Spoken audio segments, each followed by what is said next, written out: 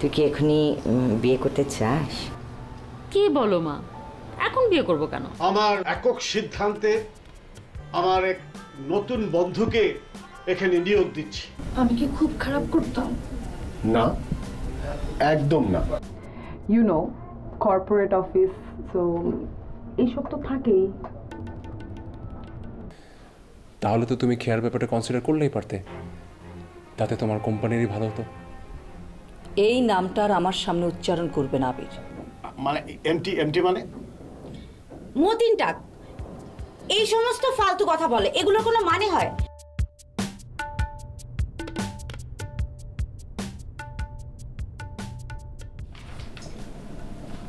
আগে জব করার এক্সপিরিয়েন্স আছে আপনার? জি না।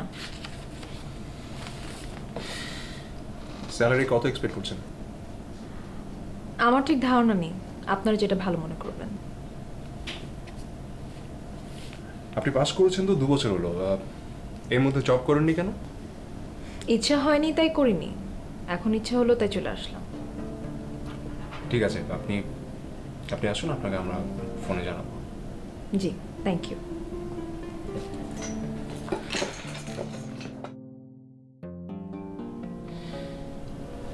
স্যার ম্যাডাম তো প্রায় একে একরকম সিলেক্ট করেই রেখেছেন। এই মেয়েটাকে? জি। মেয়েটার তো কোনো স্বপ্নই নাই। মনে হচ্ছে সে এখানে নিজে থেকে আসেনি কেউ তাকে জোর করে পাঠিয়েছে। স্যার আসলে এক একজন মানুষের অ্যাপ্রোচিং এক এক রকম আমাদের দরকার এফিশিয়েন্ট পিপল ভালো কাজ করে থাকবে না তো চলে যাবে। ঠিক আছে। তাহলে চেয়ারম্যান আসলে তাকে ফাইনাল করেন। ফোনে জানিয়ে দিন। Okay sir. আর কেউ আছে?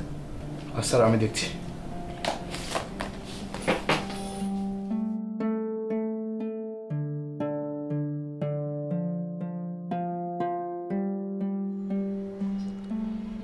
এখানে ছয়টা ফাইল আছে। আগামী মাসে আমরা ছয়টা প্রোগ্রাম একসাথে লঞ্চ করব। ব্যাপারটা আমাদের কাছে যেরকম চ্যালেঞ্জিং তেমনি সিক্রেট কাজেই এটা কোনোভাবেই ডিসক্লোজ করা যাবে না। মতিন ভাই, আমার মনে হয় এ জাতীয় কনফিডেন্সিয়াল বিষয় সবার সামনে না বলাটাই বেটার আমাদের আরেকটু কেয়ারফুল হওয়া উচিত। নমন ভাই আমরা এখানে দশ বছর হলো জব করছি। আমরা তো কোনোদিন কখনো প্রবলেম ফেস করিনি। শশী প্রবলেম হয়নি। কিন্তু এখন তো অনেক প্রবলেম হচ্ছে। আমার তো মনে হয় এখন রুলস অ্যান্ড ডিভাইড চলছে। আমরা কেউ কারোর প্রতি বিশ্বাস রাখতে পারছি না। অ্যাডমিনিস্ট্রেশন বলে কিচ্ছু নেই। মতিন ভাই এটা কিন্তু খুবই দুঃখজনক। অ্যাজ এ সিনিয়র মতিন ভাই রনির সাথে আমি একমত। কারণ এখানে যারা জুনিয়ররা আছে তাদের সিনিয়রদের প্রতি একদমই কোনো রেসপেক্ট নেই। আর সিনিয়রদের প্রতি যদি রেসপেক্ট না থাকে তাহলে কিন্তু কাজ করা যায় না। এন্ড অফ দ্য ডে এটা একটা ক্রিয়েটিভ হাউস এটা তো মাটি কাটার কাজ না আমাদের তো কাজ করে বেঁচে থাকতে হবে। রাইট ঠিক ঠিক। দেখলেন মতিন ভাই? আরে কি দেখবে? আমি জাস্ট অ্যাপ্রিশিয়েট করলাম। মতিন ভাই trust me promise okay okay আজকে আমি এখানে আত্মশুদ্ধির জন্য মিটিংয়ে বসিনি। বা এটা কোনো সাধারণ সভাও নয়। আমরা এখানে বসেছি প্রোগ্রাম সেকশন এবং নিউজ সেকশনের কয়েকজনকে নিয়ে এবং কাজ নিয়ে আলোচনা করবার জন্য। প্লিজ হেল্প মি তোমাদের যদি কোনো অভিযোগ থাকে, আমাকে বলো। আমি সামনে আরেকদিন মিটিং ডাকবো সেই দিন আমরা সেগুলো নিয়ে আলোচনা করব। আর নোমানের কথা ধরে আমি বলছি, আমি তোমাদের সবাইকে বিশ্বাস করি। তোমাদের কাউকে আমি আমার থেকে আলাদা করে দেখি। তোমাদের প্রত্যেকের প্রতি আমার বিশ্বাস আছে। এবং এই বিশ্বাস নিয়ে আমরা একত্রে কাজ করে যাব। যদি কোনোদিন অবিশ্বাসের বিষয়টি আসে সেদিন তাহলে একটু সাবধান হব। মতিন ভাই আমরা তাহলে এখন কাজের কথায় আসি? রাইট এই ছয়টা প্রোগ্রাম নিয়ে আজকে আমরা প্ল্যান করতে বসেছি। যেটা তোমাদের মাথা থেকে এসেছে সেই জন্য আমি তোমাদের সবাইকে ধন্যবাদ জানাতে চাই। Thank you very very much আজকে আমরা স্ট্রিট সং নিয়ে কথা বলব এখানে। আমি ক্লায়েন্টকে দেখিয়েছি। ক্লায়েন্ট খুব ইন্টারেস্ট শো করেছে। আর শোভা আমার সাথে ছিল। শোভা জানে বিষয়টা। এখন যেটা জরুরি এই প্রোগ্রামটা একজন ভালো প্রডিউসারের হাতে দিতে চাই। মতিন ভাই প্রডিউসার হিসেবে আপনি কাকে সাজেস্ট করছেন? আপনি কাকে চান? না না মতিন ভাই এটা ঠিক হবে না। আমার মনে হয় আপনারই ডিসাইড করা উচিত। আমি যদি শশীর কথা বলি দেখা যাবে যে সায়ের মন খারাপ করবে। শায়ের কথা বললে দীপা মন খারাপ করবে। সো কারও মন খারাপ হোক এটা আমি চাই না। বেটার আপনি ডিসাইড করুন।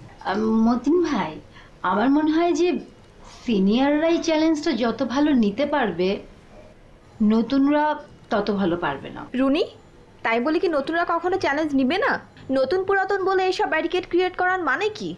মিটিং হচ্ছে ওপেন অথচ নতুন পুরাতন নিয়ে কথা হচ্ছে। শোভা আমি তো তোমাকে কিছু বলিনি। আমি জানি। তাছাড়া আমি প্রডিউসারও নই। কিন্তু এটা ভালো অ্যাটিটিউড না। আমি আমি রিয়েলি অবাক হচ্ছি।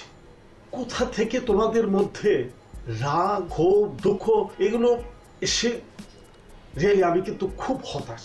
তোমরা একটা জিনিস বোঝার চেষ্টা করো যে এই স্টেশনটা আমি চালাচ্ছি শুধু আমার নিজের জন্য না আমাদের সবার রুটি রুজি এটার সাথে ইনভলভ আমাদের সবার জন্য এটা। প্লিজ হেল্প মি মদিন ভাই উই আর ভেরি সরি আসলে আপনি প্লিজ হতাশ হবেন না। আমরা আমরা সবকিছু ঠিকঠাক করে ফেলব রাইট আর আপনি প্রোগ্রামটার ব্যাপারে যাকে সিলেকশন করবেন আমরা তাকেই মেনে নিব। বলো? অবশ্যই। চলবে। Thank you thank you very much thank you very good আমি আগামী প্রান্তিকে এই প্রোগ্রামটার জন্য মানে আমার বিবেচনায় আমি মনে করি যে এটা আরমান শাহর will be the best thank you Matin ভাই।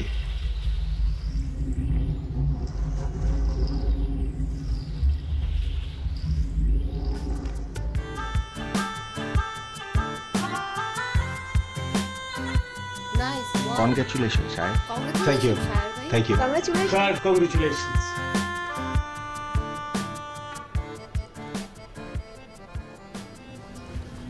hey কামেজ থ্যাংক ইউ আসলে আমি জানি এই প্রোগ্রামটা তোমার করার কথা ছিল। ইনফ্যাক্ট আইডিয়াটাও তোমার। কিন্তু তুমি তো জানো যে এই মুহূর্তে আমার হাতে তেমন কোনো প্রোগ্রাম নেই। আর বসে বসে বেতন নিচ্ছি কেমন যেন অদ্ভুত লাগে। এই দীপার মতো চার ফুটের মেয়ে আমাকে টিজ করে। ইদানিং তোমার ফ্রি সার্ভিসটা না অনেক বেশি বেড়ে গেছে। ফ্রি সার্ভিস মানে? এই যে নিজের কাছে রেখে আমাকে জ্ঞান দিচ্ছ? শোনো এখানে প্রশাসন বলে একটা কথা আছে। এটা তাদের কাজ।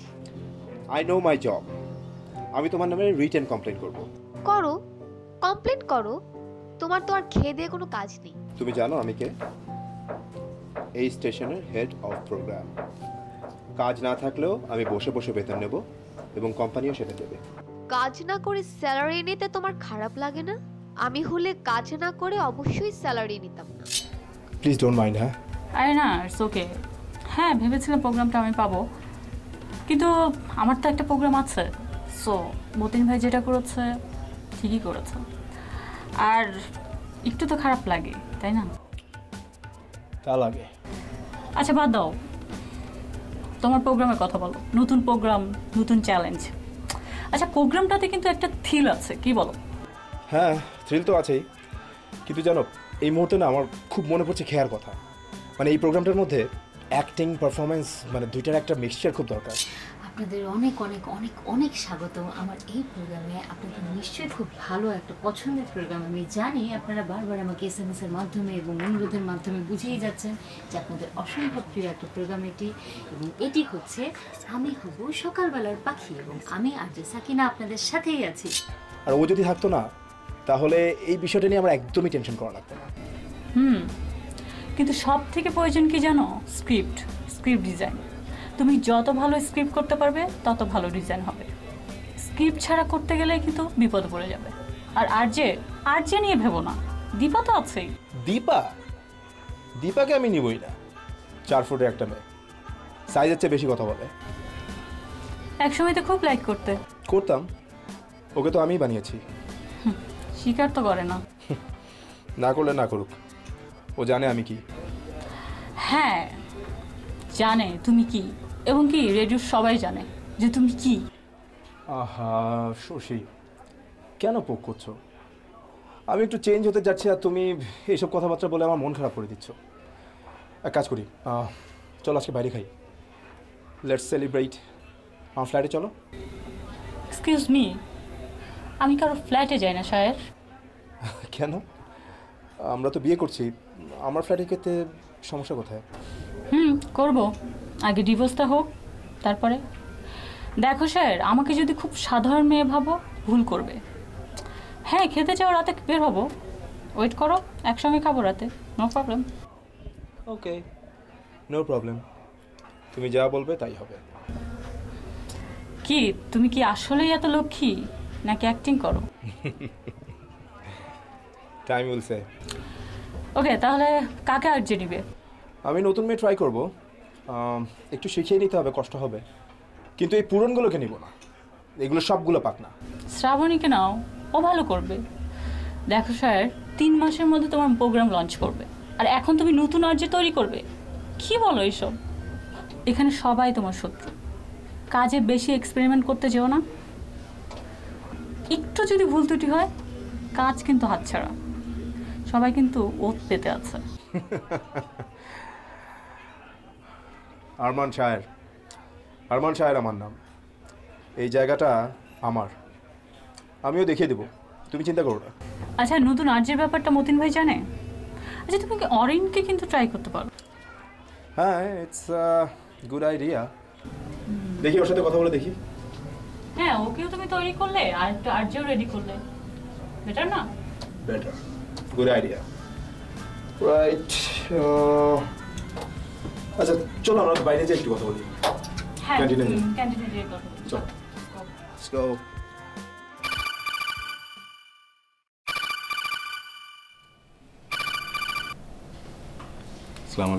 কি অবস্থা? সব ঠিকঠাক? জি ম্যাডাম। তবে আমার মনে হয় না এমডি স্যার খুব বেশি পছন্দ করেছেন। তখন আমি বললাম আপনি সম্মতি দিয়েছেন। স্যার ম্যাডাম তো প্রায় একে একরকম সিলেক্ট করেই রেখেছেন। এই মেয়েটাকে? জি। মেয়েটার তো কোনো স্বপ্নই নাই। মনে হচ্ছে সে এখানে নিজে থেকে আসেনি কেউ তাকে জোর করে পাঠিয়েছে। স্যার আসলে এক একজন মানুষের অ্যাপ্রোচিং এক এক রকম।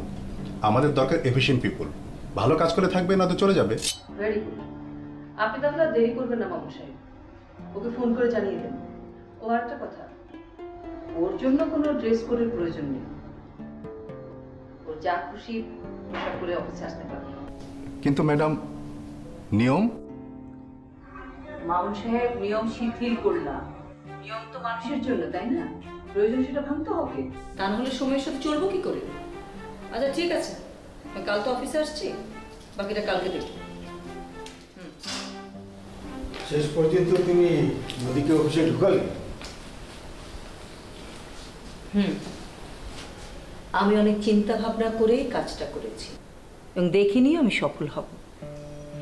ইদানিং কিন্তু তোমার ছেলের হাব ভাব দেখে কি মনে হচ্ছে জানো?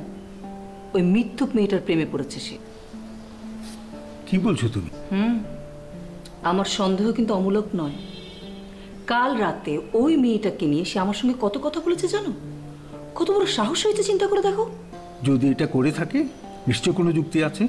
যা তুমি জানো না জানার চেষ্টাও করেনি। কারণ আমি তো আবিরকে বিশ্বাস করি। আমিও করি। কিন্তু ইদানিং ওই মেয়েটার প্রতি ও দুর্বল হয়ে পড়েছে। আমি খবর পেয়েছি। বেশ কয়েকবার মেয়েটাকে সে বাড়ি পৌঁছে দিয়েছে। ও তাহলে ছেলের পিছনে স্পাই লাগিয়েছো? অনেক কিছু করতে হয়। কারণ ও আমার একমাত্র ছেলে। প্রয়োজনে ওর ভালোর জন্য আমি অনেক কিছু করব। তুমি চিন্তা করো না। ছেলে তোমার একার নয় মাতিয়া। ছেলে আমারও। কিছু করার আগে আমার মতামত নেওয়া উচিত ছিল। ছেলে বাইরে থেকে পড়াশোনা করে এসছে। সে তোমার থেকে কম আধুনিক নয়।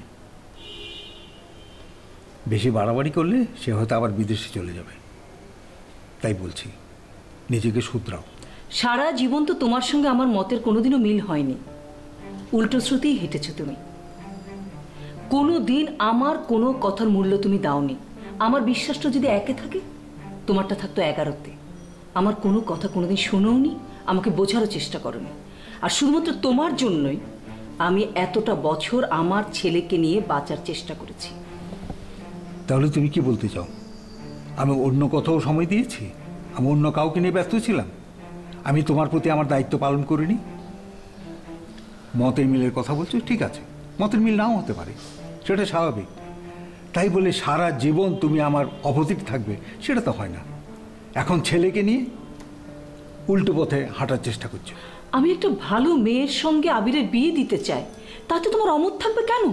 যা কোনটা ভালো মেয়ে কোনটা খারাপ মেয়ে? সেই মতামত দেবার তুমি কে? এই মতামতটা তার উপরেই ছেড়ে দাও। মাতিয়া তা না হলে সারা জীবন কিন্তু তুমি পস্তাবে। আমি নদীকে এনেছি। আবির যদি তাকে পছন্দ করে বিয়ে করবে। আমি কিছুই বলব না। ফাঁদ পেতেছো তুমি। দোষ দিচ্ছ ঘুঘুকে। সে জালে ধরা পড়ল কি পড়ল না। ওই যে একটা কথা আছে না বিচার মানি কিন্তু তাল গাছ আমার।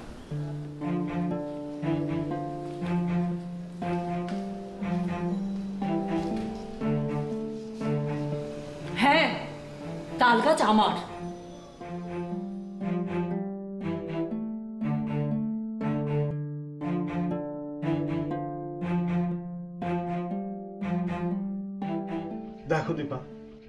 কিন্তু প্রোগ্রাম প্রডিউসার না। তুমি আর যে মানে রেডিও জকি জি জানি। তাহলে আমি প্রোগ্রামটা তোমাকে দিই কি করে?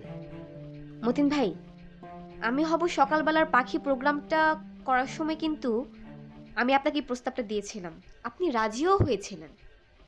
হুম। আমি বলেছিলাম এই জন্যই বলেছিলাম যে আমি ভেবেছি তুমি শুধু আর্জেইন করতে চাচ্ছ। আমি হয়তো এটা ভুল বুঝেছিলাম। এত সহজে ভুল করা মানুষ আপনি না মতিন ভাই। আপনি ব্যাপারটা এড়িয়ে যাচ্ছেন। আচ্ছা ঠিক আছে বুঝলাম আপনি ব্যাপারটা ভুল বুঝেছেন। কিন্তু তারপরও তো আমি অ্যাঙ্করিং করার সুযোগটাও পাবো না। কেন? ও তোমার তো আবার শায়ের সাথে সম্পর্কটা ভালো না। দেখো ও কিন্তু তোমাকে তৈরি করেছে। এটা বললে চলবে না। ও আমাকে তৈরি করেছে তাই বলে ওর পায়ের নিচে থাকার মতো মানুষ আমি না মতিন ভাই। হ্যাঁ নিশ্চয়ই। আর এই জন্যই তোমার তোমার সমস্ত যোগ্যতা থাকা সত্ত্বেও তুমি জীবনেও কিচ্ছু করতে পারবে না। দেখো। মানে বড় করো নিজেকে বড় করো। কি করব আমি? একটা সুযোগ। আমি আমি কিছু করতে চেয়েছিলাম আমি দেখাতে চেয়েছিলাম শায়রকে যে আমিও প্রোগ্রাম প্রডিউসার হতে পারি। ঠিক আছে ঠিক আছে। আমি তোমাকে অনেক বড় প্রডিউসার বানাবো অনেক বড়। তখন তুমি শায়দ কেন? সারা পৃথিবীকে দেখাবে রাইট শায়র আমার সাথে চিটিং করেছে। শোনো দিবা তোমার নিজেকে চেঞ্জ করো। তোমার নামে কিন্তু অনেক কমপ্লেন আছে। কমপ্লেইন আমার নামে? বিশ্বাস কর মতিন ভাই সব কনস্পিরেসি তোমাকে নিয়ে এত কনস্পিরেসি করার কারও এত সময় নাই। আচ্ছা বলো তো এমটি মানে কি? মতিন ভাই এমটি মানে আমি জানি। বলি? যাও তোমার কাজে যাও। বলো। এমটি মানে খালি লাইক এমটি পকেট আর এমটি মানে মতিন টাকো হয় যেটা তুমি আমার আড়ালে আমাকে বলে বেড়াও। ঠিক? সরি মতিন ভাই। সরি সরি বললেই হলো। লজ্জা করে না তোমার যে তোমার বাবার বয়সী একটা লোককে তুমি পেছন থেকে এইভাবে বলো? আর বলব না। আমি শিওর ওই বিসিটা আপনাকে এই কথাটা বলেছে তাই না? আবার shortcut BC what is BC? BC মানে বিসি মানে ব্রডকাস্ট শায়ের। ওকে আমরা সবাই আমরা বিসি বলেই ডাকি। ঠিক আছে যাও। মতিন ভাই একটা কথা বলি যদি কিছু মনে না করেন। বলো। আমার বাবার বয়স না অনেক বেশি। আপনি অনেক ইয়াং